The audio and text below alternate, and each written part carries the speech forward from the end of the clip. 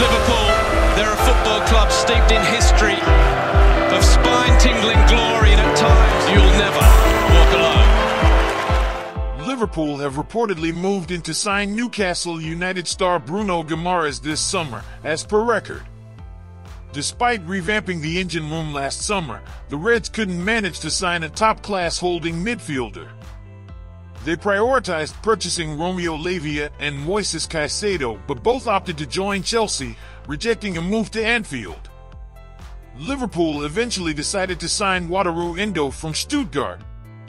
Football Insider has recently revealed that Endo was only lure as a stopgap solution, hence, Liverpool have decided to sign a new holding midfielder as a potential replacement for the Japanese as a top priority this summer.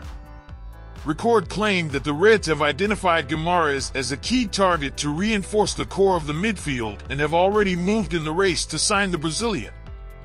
Newcastle reportedly need to raise around 68 million pounds this summer to stay on the right side of FFP regulations so they could accept a fee of around that sum to sell Guimaraes. However, hiring the 26-year-old won't be straightforward for the Reds as Manchester City, Arsenal, and PSG have also expressed their interest in signing him. Guimaraes has been impressive for Newcastle over the last few years, and as a result, he has secured his place in Brazil's national team.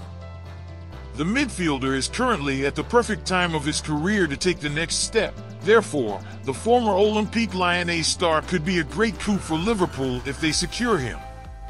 It remains to be seen whether the Merseyside club can eventually win the race to sign the pound 68 million rated Guimaraes by defeating Man City, Arsenal, and PSG.